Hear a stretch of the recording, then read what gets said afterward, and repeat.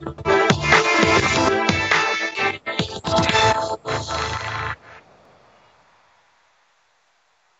प्रणाम मैं हूँ हिमांशु द्विवेदी और स्वागत है आपका हमारी खास क्रिकेट चर्चा में। चर्चा के तहत आज दो विषयों पर हम बारी बारी से बात करेंगे। दोनों विषय खासे महत्वपूर्ण है। एक विषय इस देश के धर्म धर्म संबंधित सिद्धांतों पर सवाल उठाने के चलते विषय बना है। तो दूसरा विषय यह है कि जिस कोरोना के मुकाबले के लिए वैक्सीन को सबसे अच्छी हथियार बताया जा रहा था, उस हथियार के इस्तेमाल के बाद भी लोग कोरोना से संक्रमित क्यों हो रहे हैं, इस मुद्दे पर बात पहले चरण में हमारी जो बातचीत है, वो सूर्य नमस्कार को लेकर है। हमारा विषय है सूर्य नमस्कार, धर्म पर चोट या नियत में खोट। संदर्भ यह है कि भारत सरकार के शिक्षा मंत्रालय ने 16 दिसंबर 2021 को एक परिपत्र तमाम विद्यालयों के लिए किया। इसके अंदर यह बताया गया कि इस वर्ष देश अपनी आज़ादी का अमृत महोत्सव बना रहा है। अर्थात हमें आज़ादी मिले हुए पिछहत्तर साल पूरे हो रहे हैं और इसके उपलक्ष्य में विविध आयोजन किए गए इसी क्रम में, नए साल में, एक जनवरी से लेकर सात फरवरी तक तमाम विद्यालयों में नियमित से सूर्य नमस्कार के कार्यक्रम आयोजित किए जाए, जिसके माध्यम से बच्चों को भारत की सभ्यता संस्कृति से परिचित कराया जाए, साथ ही उन्हें शारीरिक रूप से मज़बूत बनाया जाए। अब ये परिपत्र जैसे ही जारी हुआ तो कुछ लोग जिनको इस प्रकार के तमाम परिपत्रों से हमेशा ही ऐतराज होता है, वैसा ही ऐतराज सार्वजनिक हुआ। All India Muslim personal law board के द्वारा बाकायदा फतवा जारी किया गया कि ये परिपत्र संवैधानिक नहीं है। यह देश धर्मनिरपेक्ष मान्यताओं के खिलाफ है। इस्लाम सूर्य नमस्कार को स्वीकार नहीं करता, क्योंकि इसमें इस्लाम सूर्य नमस्कार को स्वीकार नहीं करता था, क्योंकि इसमें सूर्य की पूजा है और हम अल्लाह के अलावा किसी की पूजा नहीं कर सकते। हमारे धर्म में इसका निषेध है। इसलिए मुस्लिम छात्रों से सूर्य नमस्कार में हिस्सेदारी की अपेक्षा न की जाए। बवाल मच किया भाजपा से जुड़े हुए जो तमाम मुस्लिम नेता हैं, उन्होंने इस फतवे को दकियानूसी करार दिया। उनके अनुसार इस प्रकार की मंदबुद्धि की बातों का कोई मायने नहीं है। लेकिन महत्वपूर्ण बात यह है कि आखिर इस देश के अंदर आज़ादी के पिछहत्तर साल बीतने के बाद भी इन छोटे से छोटे मसलों को भी धर्म के साथ में और धर्म के वजूद के साथ क्यों जोड़ दिया जाता है? तमाम विद्यालयों के अंतर्गत सुबह सुबह प्रार्थना के क्रम भी होते हैं। अब जब प्रार्थना के क्रम होते हैं तो इसके संदर्भ में भी फतवा आना चाहिए कि किसी भी सरकारी स्कूल में सुबह प्रार्थना का कार्यक्रम नहीं होना चाहिए, क्योंकि ये एक धर्म विशेष को पोषित करता है। तो आज हम इसी मसले पर बात करेंगे। समझने की कोशिश करेंगे कि क्या सूर्य नमस्कार का कार्यक्रम वाकई इतना धर्म विरोधी है। अगर सूर्य नमस्कार के इतिहास पर भी दृष्टिपात करें तो सूर्य नमस्कार कोई भारत की सनातन धर्म संस्कृति का हिस्सा रहो, ऐसा नहीं है। सूर्य के प्रति श्रद्धा का भाव, आराधना का भाव, उसके प्रति कृतज्ञता का भाव, न केवल हिंदू धर्म में या सनातन धर्म में, बल्कि तमाम धर्मों में व्यक्त होता है, तमाम देशों की संस्कृति में व्यक्त होता है। क्योंकि इस धरती पर जीवन के लिए जो ऊर्जा मिलती है, वो सूर्य से मिलती है। अगर उस ऊर्जा के एवज में सूर्य के प्रति कृतज्ञता किसी माध्यम से व्यक्त की जा रही है तो वो क्या गुना है? इस पर भी हमें विचार करना चाहिए। तो इसी आधार पर हम अपनी चर्चा को आगे बढ़ाएँगे। तीन खास मेहमान इस चर्चा का हिस्सा बनने के लिए हमारे साथ मौजूद हैं।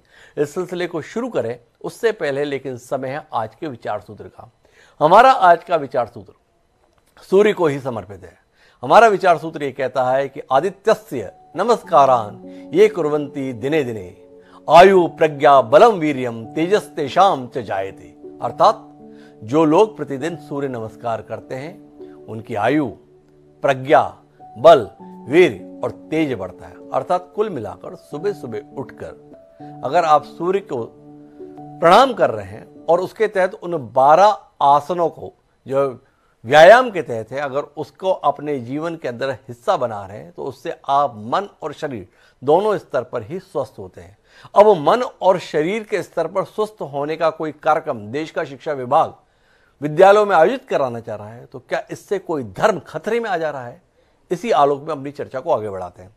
इस चर्चा का हिस्सा बनने के लिए तीन खास मेहमान हमारे साथ मौजूद हैं। हमारे साथ रजनीश अग्रवाल जी हैं, भारतीय जनता पार्टी के कुशाग्र मंत्री हैं मध्य प्रदेश के। मुझी अहमद साहब हैं, जो सदस्य अल्पसंख्यक आयोग दिल्ली के, और साथ ही वरिष्ठ पत्रकार प्रेम कुमार जी भी हमारे साथ हैं। चर्चा की शुरुआत मुजीब अहमद जी से ही करते हैं, क्योंकि फरमान मुस्लिम पर्सनल लॉ बोर्ड की तरफ़ से आया हुआ है। तमाम लोगों ने इसके संदर्भ में अपनी बात कही हुई है। कुछ बयान मेरे साथ में हैं। तो पहले उस बयान को सुनते हैं और फिर मुजीब अहमद जी की बात भी सुनते हैं तो उनका अपना नज़रिया क्या है। एक बार सुनिए, क्या कह रहे हैं इस फतवे के संदर्भ में? करने दीजिए, क्योंकि सूर्य नमस्कार से बच्चों को विटामिन डी भी मिलता है और ऊपर वाले का, अल्लाह का, ईश्वर का आशीर्वाद भी मिलता है। तो आपको ना धर्म पता है, ना दुनिया पता है। लिहाजा इस तरह के अनर्गल बयान देकर ये लोग जानबूझकर कंट्रोवर्सी फैलाते हैं, तुष्टिकरण की बात करते हैं, क्योंकि इन्होंने अपने समाज को पढ़ने नहीं दिया है। और ये खुद भी हमें लगता है कुछ ज़्यादा, बहुत ज़्यादा पढ़े लिखे लोग नहीं है। मुल्क में मुख्तलिफ़ मज़हब के मानने वाले रहते हैं। मुख्तलिफ़ मज़हब के मानने वाले अपनी अपनी मान्यताओं और अपने अपने धार्मिक मान्यताओं के अतबार से अपने मज़हब पर अमल करते हैं। लिहाजा सिर्फ़ एक मज़हब पर किसी खास कम्युनिटी को बाध्य कर देना और किसी भी सरकारी संस्थानों में किसी एक खास मज़हब की रीति रिवाजों को फरोग देना, यह हमारे संविधान की रूह के खिलाफ है। इसलिए सूर्य नमस्कार की जो परियोजना सरकार के द्वारा नाफिज करने की बात की जा रही है, हम कतई तौर पर उसकी मुखालिफत करते हैं और बहसीत मुसलमान हम सिर्फ़ अल्लाह की इबादत करते हैं और इस तरीके के फैसलों में अगर मुसलमानों को भी शामिल किया जाएगा तो हम संवैधानिक तौर पर इसकी खिलाफ वर्जी और इसकी मुखालिफत ज़रूर करेंगे। तो ये नज़रिया है दारुल के हमारे प्रवक्ता थे ये जिनका मानना है कि ये बिल्कुल ही गलत है अनुचित है अव्यवहारिक है और असंवैधानिक है। मुजीब अहमद साहब हमारे साथ में है। किस नज़रिए के साथ है मुजीब जी? हेलो जी अहमद साहब। आवाज़ आ रही है? जी। हमारा मानना यह है सर कि सूर्य नमस्कार जो लोग करते हैं वो करें उनके लिए कोई दिक्कत नहीं लेकिन हम जो मुस्लिम समाज है हमारे जो मुस्लिम कम्युनिटी है इसका ऑब्जेक्शन सिर्फ़ इसीलिए है कि सर हम जो है prayer to be single God जी। सिर्फ़ एक खुदा को मानने वाले हैं सर। जी। और उसी खुदा ने सब चीज़ों को बनाया है। जी। तमाम यूनिवर्स उसी ने बनाई है। जी। ये चाँद सितारे ये सूरज सब कुछ पूरा all universe all kind of universe जो है एक सिंगल गॉड ने बनाया है सर। जी। और ऐसा नहीं है कि हमारे ही धर्म के अंदर सिंगल गॉड की है मैं समझता हूँ कि हिंदू धर्म में भी कुछ विद्वानों ने बताया कि हम सिर्फ़ सिंगल गॉड की वर्शिप करें। जी। जहाँ तक मैंने पढ़ाया जनाब दयानंद शास्त्री साहब ने भी इस बात के लिए बहुत ज़्यादा वकालत करी है कि हम सिंगल गॉड की वर्शिप करें। जी। तो जो आप आज की चर्चा है कि सूर्य नमस्कार आप कह रहे हैं जी। तो सूर्य नमस्कार की अगर हम गहराई में जाएँ कि हम सूर्य की इबादत करते हैं वर्शिप टू सन जी। यहाँ पे थोड़ा सा हम लोग इस चीज़ को अवॉइड करते हैं। कि सूरज से मैं मानता हूँ बहुत सारी बेनिफिट्स हमें मिलते हैं। विटामिन डी का है विटामिन सारे विटामिन है हड्डियों मज़बूत होती है। तो, तो सर ज़रूरी नहीं है कि उसको हाथ जोड़कर उसके आगे खड़े हो जाएँ तो ही हमें विटामिन डी मिलेगी तो ही हम बलवान शक्तिशाली होंगे ऐसा नहीं है सर। जी। और मुस्लिम समाज की एक एक्सरसाइज है नमाज़। जी। अगर हम पाँचों टाइम नमाज़ पढ़ते हैं तो हम ऑटोमेटिकली फिट रहते हैं। फाइव टाइम्स प्रेयर जो हम करते हैं सर उसमें सारी एक्सरसाइज हमारी पूरी होती है। सुबह अर्ली मॉर्निंग से लेकर और रात ईशा की नमाज़ तक हमारी फाइव टाइम एक्सरसाइज पूरी कंप्लीट हो जाती है। और उस नमाज़ के अंदर भी हम बहुत सारी चीज़ें ऐसी पढ़ते हैं कि जो तमाम बुराइयों से दूर रखने के लिए हम अल्लाह से दुआ करते हैं कि हमें तमाम बुराइयों से दूर रखी जाए। तो लेकिन एक सूर्य नमस्कार को ही इम्पोज करना ये इंडियन कॉन्स्टिट्यूट के खिलाफ आर्टिकल 25 से 28 के अंदर भी कहा गया है कि सर आप किसी को भी किसी के मज़हब के लिए ज़बरदस्ती नहीं कर सकते। कोई भी किसी भी वर्शिप के लिए आप ज़बरदस्ती नहीं कर सकते सर मुझे अहमद साहब, मेरे कुछ सवाल हैं आपसे। आपने बताया कि बहुत दिक्कत है हमें, इसलिए क्योंकि इस्लाम में अल्लाह के अलावा और किसी की इबादत नहीं है। ये जो जगह जगह पे चौक चौराहों पर ये जो मज़ारें बनी हुई है और इनमें जो सजदे करते हुए आपकी कौम के लोग दिखाई देते हैं, इन मज़ारों को कब उठवाने वाले हैं? आप कब हटवाने वाले हैं और इसके लिए कब फतवा जारी करने वाले ये जानने में मेरी दिलचस्पी है। मैं जानना चाहता हूँ निजामुद्दीन औलिया की दरगाह पर जो नमाज़ इबादत करने के लिए बड़े पैमाने पर लोग पहुँचते हैं, कब उस पर ताला लगवाने की मांग आप लोग करने वाले हैं? क्योंकि आपके अनुसार तो अल्लाह एक है। इसके अलावा और किसी के आगे सर झुकाने की इजाज़त नहीं है। और उस सूर्य के आगे क्यों सर झुका दें, जिससे हमें सब कुछ मिलता है? तो थोड़ा आप रोशनी दें। ये इतनी मज़ारों पर आप जो भीड़ लगा रहे हैं, इतनी दरगाहों पर जो आप चादर चढ़ा रहे हैं, इन सब पर प्रतिबंध लगाने के लिए और इन पत्थरों को उखाड़ देने के लिए कब फतवा आने वाला है? विनम्रता पूर्वक सवाल है क्योंकि आपने ही तर्क ऐसा दिया है। सर ऐसा है देखिए आपने जो बात कही है ना मुस्लिम के अंदर भी सही सर कई सारे सेक्ट्स हैं कई सूफीज्म आपने दरगाह की बात करी है वो सूफीज्म में आती है। जी। और हिंदुस्तान का सूफीज्म से नाता काफ़ी पुराना है। जी। सूफीज्म एक ऐसा सेक्ट ऐसा एक मुस्लिम के अंदर एक ऐसी कम्युनिटी है सूफीज्म जो तमाम मज़हब को जोड़ती है सर। ठीक है? और वहाँ भी आप जो कहने के हम सिजदा करते हैं तो ये थोड़ा सा डिफरेंस है। वहाँ सिजदा नहीं करते सर वहाँ पे हम उनके लिए अपनी इज़्ज़त को दर्शाते हैं कि हम उनकी कितनी इज़्ज़त कर रहे सूफी बुज़ुर्ग हैं हज़रत निजामुद्दीन रहमतुल्लाह के बारे में आपने बात करी है। वहाँ पे हम सिजदा नहीं करते सर उनकी कदम बोसी करने के लिए हम वहाँ पे थोड़ा सा रिस्पेक्ट देते हैं और इतनी उनके आगे। आप उनके आगे माथा नहीं झुकाते हैं। आप उनके आगे जो है कतई अपना शीश नवाते नहीं है। आप जाते हैं और हाय ये करके आ जाते हैं। नहीं हाय तो हाय नहीं करते सर। हाय अलग चीज़ है।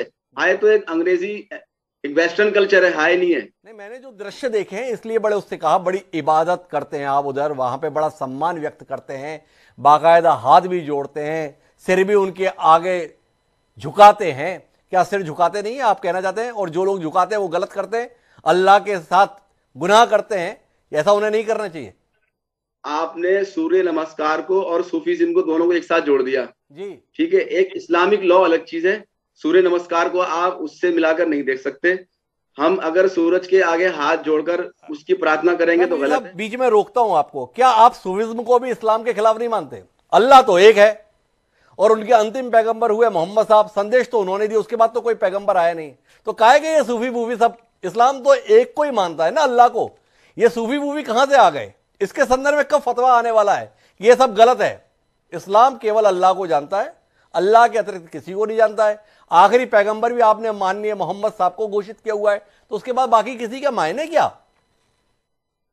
हिमांशु साहब there is various kind of sects in every kind of religion ठीक है? अब आप हिंदुइज्म में भी आ जाइए। काफ़ी सारे हिंदू विद्वांतों ने काफ़ी सारे मनुस्मृति में भी ये कहा गया है कि एक ही भगवान की पूजा करनी चाहिए। लेकिन अब जाके वहाँ कई तो सारे तो मेरा सवाल है मुजीब साहब कि आप जिस हिंदू धर्म की बात कर रहे हैं उस समय एक ईश्वर की बात कही निराकार स्वरूप की बात कही पर इसके साथ में भी सूर्य नमस्कार को लेकर कोई आपत्ति नहीं है? तो इसलिए काम चल रहा है। आपको आपत्ति हो गई आपको परेशानी हो गई आपको एक परिपत्र से पूरा इस्लाम खतरे में आ गया। इसलिए सवाल उठा कि आप इतनी विसंगतियों के साथ खुद अपने धर्म के निर्वाह कर रहे हैं। इस्लाम में तो शराब भी हराम है कितने मैं खाने स्वयं इस्लाम मानने वाले लोग चला रहे हैं, वो भी हमें दिख रहा है। तो एक सूर्य नमस्कार से दिक्कत इसलिए हो गई क्योंकि इस देश की बहुसंस्कृति के अंतर्गत आपको परेशानी है। लेकिन मैं अपनी चर्चा को आगे बढ़ाता हूँ रजनीश अग्रवाल जी के पास चलता हूँ रजनीश जी से जानना चाहता हूँ कि आपकी पार्टी और आपकी पार्टी की स्पष्ट बहुमत की सरकार देश की संवैधानिक व्यवस्था से छेड़छाड़ करने पर इतनी उतारू क्यों रहती है? क्या ऐसा हो गया जिसके तहत आप इस देश के धर्मनिरपेक्ष ढांचे को धराशायी करने के लिए इतने आतुर है रजनी जी। देखिए ना मुजीब जी कितने परेशान हैं। आप क्यों परेशान करते हैं इतना? पहली बात तो मुझे लगता है कि शब्द ठीक करना चाहिए। भारत का संविधान धर्म निरपेक्ष नहीं है पंथ निरपेक्ष है। और जो संविधान में सेकुलरिज्म जोड़ा गया बाद में जोड़ा गया ज़रूरत होती तो संविधान सभा में स्वीकृत करके बाद में जुड़ने की आवश्यकता नहीं पड़ आवश्यकता नहीं पड़ती। ये इन्होंने कब जोड़ा है वो पूरे उस इतिहास में नहीं जाता और उसकी भी पंथ निरपेक्षता कहा है। इसलिए धर्म निरपेक्ष तो ना कोई कोई हो सकता है ना होने का कोई कारण है। रही बात सूर्य नमस्कार की तो सूर्य नमस्कार के बारे में कहीं विवाद नहीं है सिवाय कुछ लोगों की राजनीति के सिवाय कुछ लोगों के अपनी तुष्टिकरण के सिवाय कुछ लोगों की वोट बैंक की राजनीति के चाहे वो इनका पर्सनल लॉ बोर्ड हो। ये कौन है भाई? जी। ये पर्सनल लॉ बोर्ड क्या है? एक एनजीओ है। जी। ये क्या मान्यता प्राप्त मुसलमानों की कोई संस्था है? आधिकारिक संस्था है जिसने फतवा जारी कर दिया सभी मुसलमान माने। और ये बताइए संविधान खतरे में कहा से आ गया? कोई अनिवार्य कर दिया क्या? या ये गैर संवैधानिक काम हो गया क्या? सरकार ने कोई इस प्रकार का बच्चों को सूर्य नमस्कार कराने का निर्णय ले लिया? तो संविधान खतरे में संविधान की भावना खतरे में तमाम आर्टिकल गिनाए जा रहे हैं। ये केवल विशुद्ध रूप से कुछ लोगों की जो मुस्लिम पर्सनल लॉ बोर्ड के नाम पर हो या मुसलमानों की धर्म की ठेकेदारी करने के नाम पर उनकी राजनीति है। बाकी इसका कहीं कोई ना शास्त्रार्थ कोई है इसके साथ में जुड़ा हुआ ना इसके साथ में संवैधानिक बहस कोई जुड़ी हुई है ना इसके साथ में कोई शरीर मन बुद्धि आत्मा का कोई किसी प्रकार का कोई मामला है जो बहस का कारण बने। ये सबको पता है और इस कोरोना काल में पिछले डेढ़ दो साल से तो सबने सिद्ध किया है कि सूर्य नमस्कार का अपना महत्व है और विवाद का विषय भी नहीं है। ऐच्छिक है ऐच्छिक है करो तो ठीक ना करो तो ठीक। अगर करोगे तो कोई पुरस्कार मिल जाएगा नहीं करोगे तो सरकार आपको दंडित कर देगी। ऐसा भी नहीं है। तो मुझे लगता है कि बेवजह की क्यों इस प्रकार की राजनीति की मैं राजनीति इसलिए कह रहा हूँ कि ये कुछ लोगों को अपनी दुकान चलाने के लिए इस प्रकार के काम करने की फतवा जारी करने। एक बात बताइए कितने फतवा जारी किए इस बोर्ड ने? जो तमाम प्रकार की आतंकी घटनाएँ घटती हैं उनको जो युवा आईएस आईएस से जुड़ते हैं केरल के और तमाम प्रकार के कितने फतवा जारी हुए?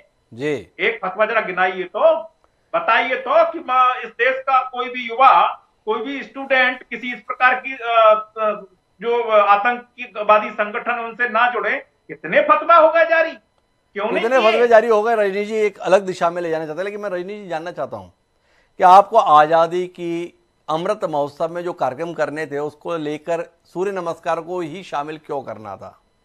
इन लोगों का कहना है, जिनको आपत्ति है, चाहे वो कुछ लोग हैं, पर लोकतांत्रिक व्यवस्था में कुछ लोगों की भी तो कुछ अहमियत रखी है आप, कि सब कुछ बहुमत के दम पर केवल अपने अनुसार करेंगे। उनका कहना है कि आप इस प्रकार के कार्यक्रमों के माध्यम से एक धर्म विशेष को प्रोत्साहित करने का काम कर रहे हैं। बहुसंख्यक समाज अल्पसंख्यकों को दबाने की कोशिश कर रहा है। इसके संदर्भ में कोई नज़रिया रजनी जी जैसा कुशाग्र प्रवक्ता कुछ साझा करेगा या केवल नाराज़ नाराज़ ही रहेगा? नहीं नाराज़ तो मैं बिल्कुल नहीं हूँ। पहली बात यह है कि मैं इस जो आदेश है केंद्र सरकार का इसकी सराहना भी करता हूँ अभिनंदन भी करता हूँ। ये राष्ट्र साक्षात सनातन राष्ट्र है। और जो अंग्रेज़ों से आज़ादी हमें उन्नीस को मिली उसके बाद में लगातार जो इसके शौक को जानकर स्वतंत्रता से हमें स्वाधीनता के की तरफ़ बढ़ने का काम है वो लगातार हम कर रहे हैं। जी। हमारी जो शासक सनातन संस्कृति है जिसके आधार पर हम अपनी पूरे सर्वांगीण विकास कर सकते हैं उसके तरफ़ भी बढ़ने का काम कर रहे हैं करना चाहिए। हम आज़ादी की लड़ाई लड़ने वाले किसी भी धर्म मज़हब मत मतांतर पंथ के क्षेत्र के हों उन सबको याद कर रहे हैं जिनको भुला दिया गया जिनको कभी नहीं बताया गया। हम उन पद्धतियों का भी निश्चित तौर पर प्रचलन में लाने का काम कर रहे हैं, जिनके कारण मनुष्यों के नागरिकों का तमाम प्रकार का विकास होने की गुंजाइश रहती है, संभावना रहती है। तो कर रहे हैं। और इसमें कई, कहीं किसी मज़हब के साथ में एक बार भी कोई भेदभाव हो तो बताएँ। और ये दो मामले कोर्ट में गए हैं। सारे मामले ऐच्छिक हैं। यहाँ तक कि गीता के मामले में जब गीता के कई प्रसंग पढ़ाने का काम मध्य प्रदेश में हुआ तो वो भी मामला हाई कोर्ट में गया जनवरी 2012 में। उसके बारे में भी फैसला है। जब वो फैसला दिया तो कई प्रकार की चर्चाएँ उसमें कोर्ट ने की है हाई कोर्ट ने। उसकी कई ऑब्जर्वेशन है। और रही बात पाठ्य पुस्तकों में तो कई धर्मों की ऐसी ऐसी बातें भी पाठ्य पुस्तकों में लंबे समय से पढ़ाई जाती रही है जिन पर सवाल खड़े करेंगे तो मुझे लगता है कि आपकी चर्चा की दिशा बहुत अलग उसमें चली जाएगी तो मैं नहीं जानना चाहता। मेरे पास तो पूरा उसके बारे में पोथन्ना है कि कौन कौन से धर्म के और ईद के बारे में क्या पढ़ाया जाता है और मोहम्मद साहब ने क्या कहा और उसके बारे में किसने किस कौन सी किताब में क्या क्या पढ़ाया गया। जी। उस बारे में कभी नहीं कहेंगे। ये भेदभाव न कभी होता है न कभी होगा। ये कोई भेदभाव नहीं है और कुल मिला के सनातन संस्कृति की ओर बढ़ाने की कोशिश हम कर रहे हैं तो इसमें ऐतराज क्या है? ये रजनीश अग्रवाल जी का सवाल है। पर इस पूरे मसले पे स्वतंत्र राय रखने के लिए मेरे साथ प्रेम कुमार जी हैं। प्रेम कुमार जी इस पूरे मसले को किस रूप में देखते हैं? क्या आप नहीं मानते हैं प्रेम कुमार जी कि एक अनावश्यक विवाद को तूल देने की कोशिश है? जैसा रजनीश जी कह रहे हैं कि कुछ लोगों को केवल राजनीतिक रोटी सेकनी है, इसलिए अच्छे कामों में भी सवाल उठाना है। या आप वाकई मानते हैं कि इस देश में कोई बड़ी साजिश हो रही है? अल्पसंख्यकों के खिलाफ और इस साजिश को बेनकाब करना और रोकना दोनों बड़ा ज़रूरी है। देखिए हिमांशु जी, मैं यहाँ से अपनी बात शुरू करता हूँ। कि हिंदू धर्म में तो कोई भी बात ज़बरदस्ती थोपना या फतवा जैसी बात है नहीं होती नहीं है। जी। हिंदू धर्म में नहीं होती। और मुस्लिम इस्लाम में भी फतवा मांगा जाता है। जी। किसी विषय पर फतवा मांगा जाता है तब फतवा होता है। बगैर मांगे हुए फतवा नहीं होता है। ये दोनों बातें तो मैं यहाँ देख रहा हूँ कि all India Muslim personal law board भी बगैर मांगे हुए फतवा जारी कर रहा है। और मैं ये भी देख रहा हूँ कि सरकार भी का भी जो आदेश है वो भी लगभग फतवे की तरह है। जी। दोनों ही फतवे ही जारी कर रहे हैं। एक सरकारी फतवा है और एक धार्मिक फतवा है। ये इस रूप में देख रहा हूँ। दूसरी बात यह है कि शिक्षा जो है समवर्ती सूची में आता है। राज्य सरकार का भी हक बनता है केंद्र सरकार का भी हक बनता है। तो इस स्कूल में इसको इस कार्यक्रम को या शिक्षण व्यवस्था में अगर किसी विषय को डालते हैं तो ये ज़रूरी है कि राज्यों का भी परामर्श हो ये उसके हिस्से की भी बात होती है। जी। फिर एक बात स्पष्ट करने की और ज़रूरत होती है कि ये धार्मिक नहीं है। जी। जो सूर्य नमस्कार, नमस्कार है ये धार्मिक नहीं है। ये बात भी स्पष्ट करने की भी ज़रूरत है। और हो सकता है कि स्पष्ट करने के बावजूद कुछ लोग नहीं भी माने कुछ लोग माने। राय में भिन्नता हो सकती है। लेकिन जैसा कि सरकारी आदेश में है कि चाहे तो आप इसमें शामिल होइए या चाहे तो शामिल नहीं होइए तो ये तो तटस्थता है। लेकिन सरकारी आयोजन में इस तरीके से ये फतवागिरी हो ही क्यों?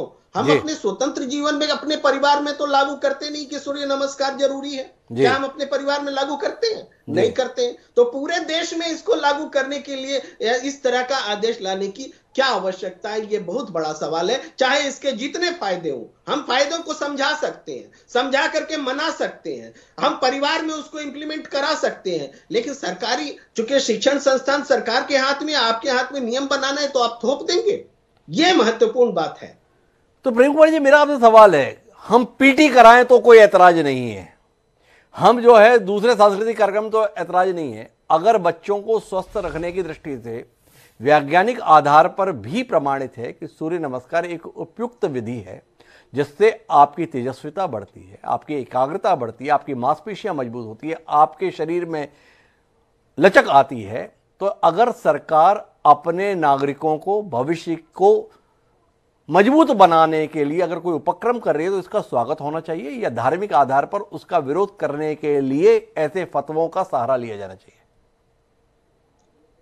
देखिए, बात ये सही आप जो कह रहे हैं कि सूर्य नमस्कार के फ़ायदे हैं, ये वैज्ञानिक बात है, लेकिन यह बात आम जनता तक पहुँचाने के लिए और ऐसे कोई विवाद खड़े नहीं हो, इसके लिए सरकार ने कौन से प्रयत्न किए हैं? सरकार की ये भी तो प्राथमिकता होती प्रेम कुमार जी अब विश्व योग दिवस के तौर पर मान्यता दिलवा ली। पूरे देश में आज़ादी के अमृत महोत्सव के आधार पर एक आयोजन इतने बड़े स्तर पर करने की कोशिश की जा रही है। बच्चे बच्चे को इससे जोड़ने की कोशिश की जा रही है। इसे एक जीवन शैली का हिस्सा बनाने की कोशिश कि। आप स्वस्थ रहें। इस कोशिश की सराहना होनी चाहिए।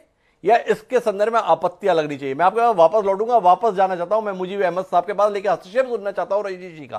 कोई रजनी जी, इसमें कुछ अपनी भावनाएँ व्यक्त करना चाहते हैं, एक बार उनके हस्तक्षेप सुनते हैं और फिर मुजीब जी के पास चलते हैं। जी रजनी जी। मैं बहुत विनम्रता से कहूँगा, आदरणीय प्रेम कुमार जी कह रहे हैं, सूर्य नमस्कार बहुत अच्छा है।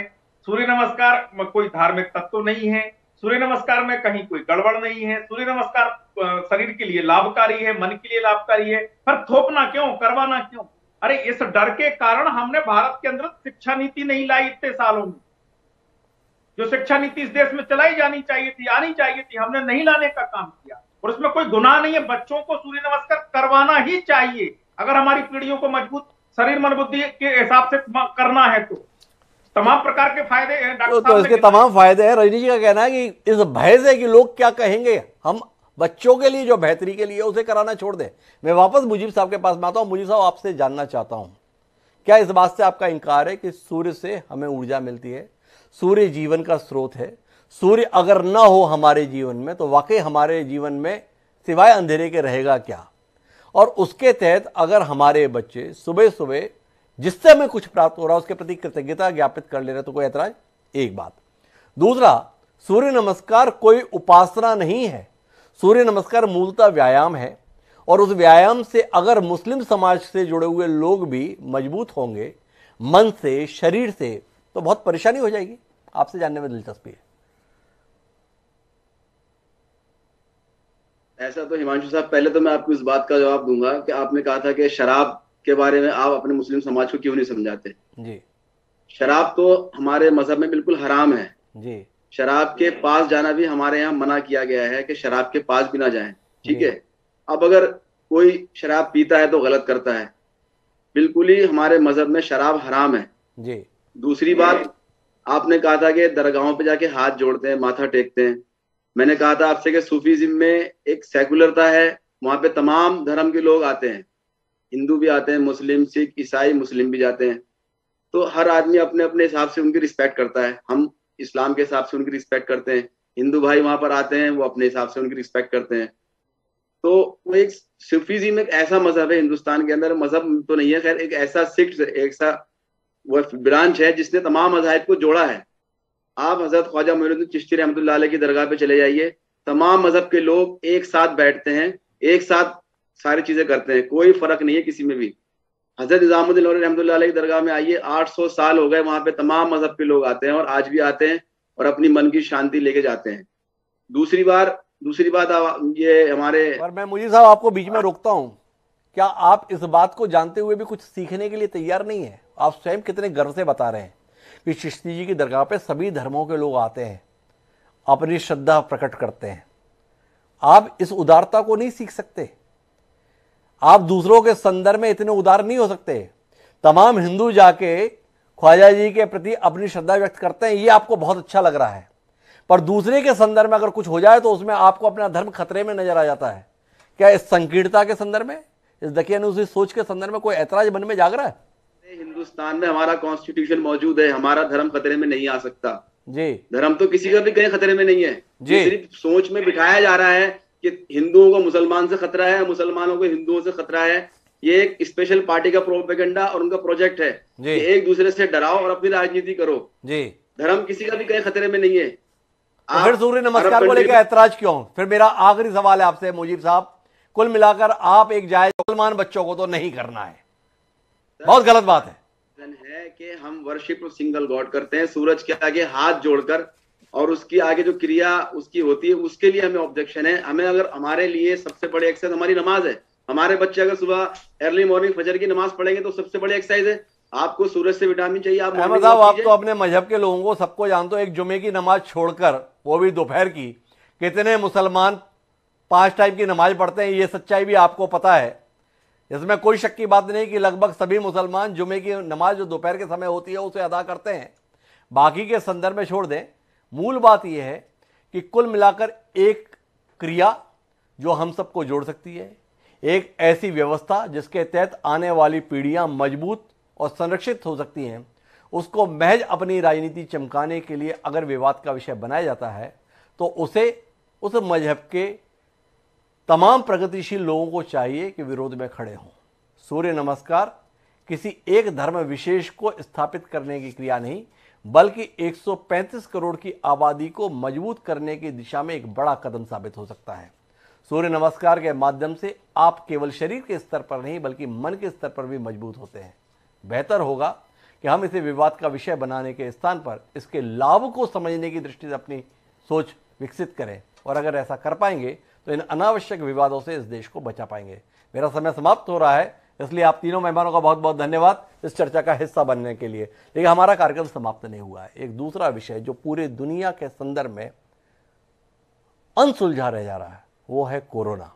कोरोना की तीसरी लहर इस समय हिंदुस्तान में कहर बरपाने का सिलसिला शुरू कर चुकी है। इसी से जुड़े महत्वपूर्ण विषय पर हम बात करेंगे। चार खास मेहमान हमारे साथ जुड़ेंगे जो इस मसले पर जो तमाम सवाल आपके जहन में, उनके उत्तर शायद उनसे बातचीत में निकल पाएँगे। लेकिन इस सिलसिले को शुरू करें, उससे पहले समय एक छोटे से ब्रेक का। ब्रेक पर जाते हैं और लौट कर आके उस महत्वपूर्ण विषय पर बात करते हैं।